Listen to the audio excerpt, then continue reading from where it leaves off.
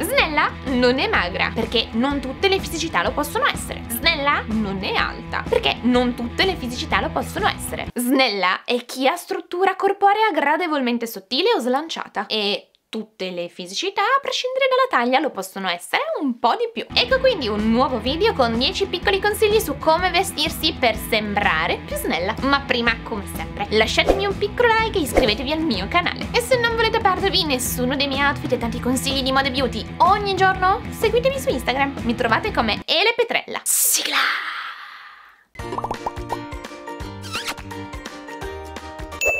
Chi trova l'intimo giusto trova un tesoro. Punto cruciale, spesso trascurato da un ma sì, tanto non lo vede nessuno. Invece no. L'intimo può giocare a nostro favore, basti pensare ai tagli laser, ai pantaloncini snellenti, alle culotte che rendono più alto e sodo il sedere, ma l'intimo può giocare anche contro. Ad esempio, un reggiseno troppo stretto può segnare, creare un fastidioso rotolino sulla schiena di chiunque. Quindi, obiettivo numero uno, fai una buona scorta di intimo della tua taglia e adatto alla tua fisicità.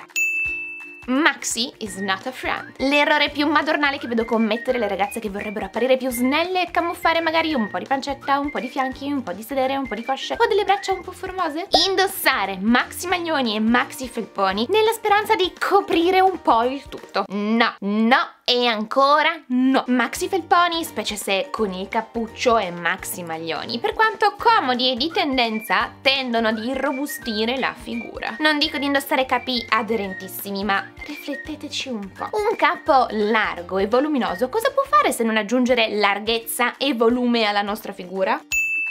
Valorizza i punti forti e non dirmi che non li hai, perché sei soltanto troppo cattiva con te stessa. Se proprio non riesci a trovarli, fatti aiutare da una persona che ti vuole bene, che quindi vuole il tuo bene, come una mamma, una sorella o una migliore amica. Hai delle belle gambe? Indossa più spesso vestiti e gonne. Hai un bel sedere tonico? Non nasconderlo sotto ad un felpone informe per paura si veda un po' di pancetta. Hai delle caviglie sottili? Mettile in evidenza indossando delle calzature affusolate. Hai un bel collo lungo, esaltalo con uno scollo V.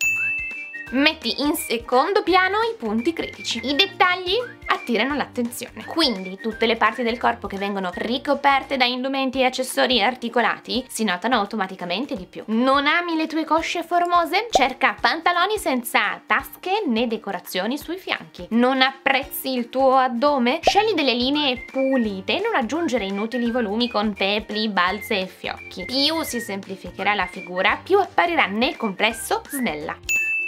Mostra gli skinny pits. Trucchetto infallibile, anzi, un segretone. Mostrare le parti più asciutte e ossute del proprio corpo come le mascelle, le clavicole, i gomiti, i polsi, le caviglie o il punto vita contribuisce a far apparire la silhouette complessivamente più snella. Via libera quindi ha scogli a V, maniche a tre quarti, pantaloni capri, capelli lontani dal collo e così via le linee verticali. Le linee verticali snelliscono e questo oramai lo sanno anche i muri. Le linee verticali snelliscono! Ecco, indossare tutti i giorni outfit a righe non è possibile. Indossare cerniere, file di bottoni, pants, cardigan, blazer, sì, e l'effetto allungante, anzi, l'effetto allungante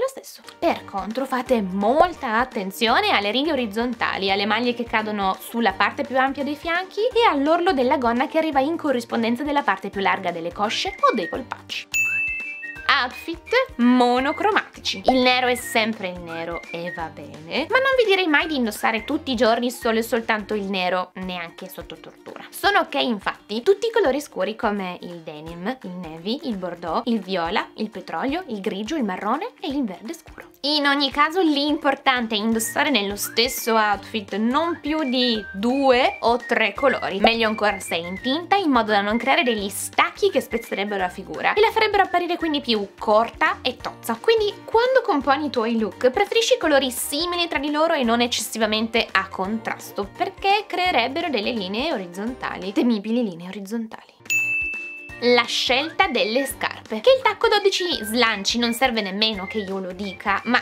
chi esce tutti i giorni, tutto il giorno su un tacco 12?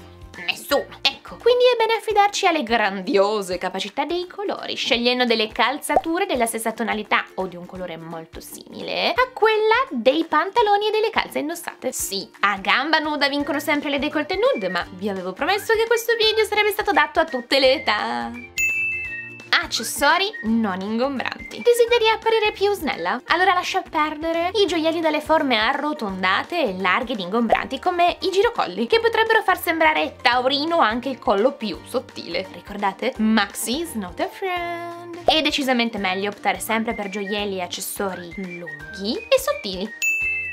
Ascolta il tuo corpo. La vita alta non slancia tutti i fisici. I pantaloni a palazzo non slanciano tutti i fisici. Le gonne a ruota non slanciano tutti i fisici. I capi neri non slanciano tutti i fisici. Dopo aver ascoltato tutti questi consigli, ascolta ciò che ti dice il tuo corpo allo specchio. E no, non serve acquistare tutto per capirlo, altrimenti a che servirebbero i giretti per i negozi? Spero questo video vi possa essere utile, se vi è piaciuto lasciatemi un piccolo like e iscrivetevi al mio canale. Nell'info box ho inserito tutti i link utili, per qualsiasi domanda come sempre scrivetemi nei commenti. E se non volete perdervi nessuno dei miei outfit e tanti consigli di moda e beauty ogni giorno, seguitemi su Instagram, mi trovate come Ele Petrella. Grazie per aver guardato il video fino alla fine, qui vi lascio altri due video che spero vi possano essere utili